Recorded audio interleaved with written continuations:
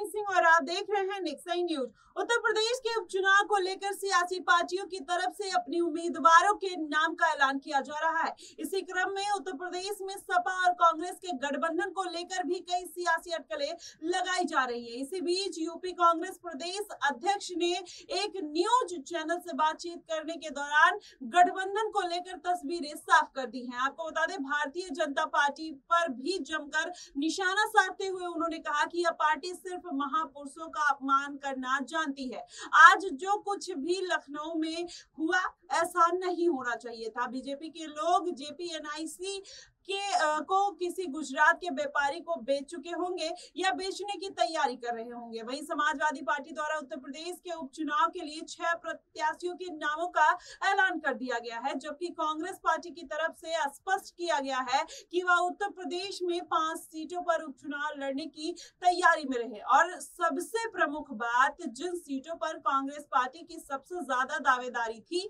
उन्हीं सीटों पर समाजवादी पार्टी ने अपने छह उम्मीदवारों के नाम नाम का ऐलान कर दिया है। उपचुनाव की सीटों को लेकर देखे जा रहे इस रस्ता कसी में कांग्रेस प्रदेश अध्यक्ष ने स्पष्ट कर दिया है कि हमने उत्तर प्रदेश में पाँच सीटों पर लड़ने के लिए प्रस्ताव रखा था। समाजवादी पार्टी द्वारा छह सीटों पर अपने प्रत्याशियों के नाम का ऐलान कर दिया गया है। हम इस बारे में अपने राष्ट्रीय नेतृत्व को अवगत करा चुके हैं। वही राष्ट्रीय नेतृत्व का जो भी फैसला होगा, वह हमें मान्य होगा। और वही एक इंटरव्यू के दौरान जब उनसे पूछा गया कि क्या आप भी फूलपुर और मझवा से चुनाव लड़ने वाले थे, जहाँ से समाजवादी पार्टी ने अपने प्रत्याशी उतार दिए हैं।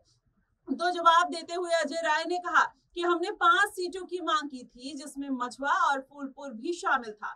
लेकिन अब हम स्पष्ट करना चाहते हैं कि हम मिलजुल कर उपचुनाव लड़ेंगे और भारतीय जनता पार्टी को पूरी मजबूती से हराने का काम करेंगे। वहीं कांग्रेस प्रदेश अध्यक्ष ने कहा कि दोनों तरफ़ से गठबंधन धर्म का पालन हो रहा है। वहीं समाजवादी पार्टी प्रमुख अखिलेश यादव ने जेडीयू को नसीहत वाले बयान पर समर्थन देते हुए अजय राय ने कहा कि बिल्कुल, अखिलेश यादव द्वारा जो कहा गया, वो सही कहा गया। अगर नीतीश कुमार ऐसा नहीं करते हैं तो उनका भी हाल जेजेपी और पीडीपी की तरह हो सकता है। इसलिए उन्हें इस पर विचार करना चाहिए। आज जो कुछ भी लखनऊ में हुआ, वह नहीं होना चाहिए था। वहीं भारतीय जनता पार्टी महापुरुषों का अपमान करना चाहती है और वो कहीं ना कहीं किसी ना किसी बहाने से इस तरीके की हरकतें और कवायद करती हुई नज़र आती है। अब देखना दिलचस्प होगा कि आखिरकार इसका पूरा जो मामला है, वो कितना तूल पकड़ता हुआ नज़र आता है। आखिरकार भारतीय जनता पार्टी इसका कितना नुकसान इस बार के उपचुनाव में उठाती हुई नज़र आती है और वहीं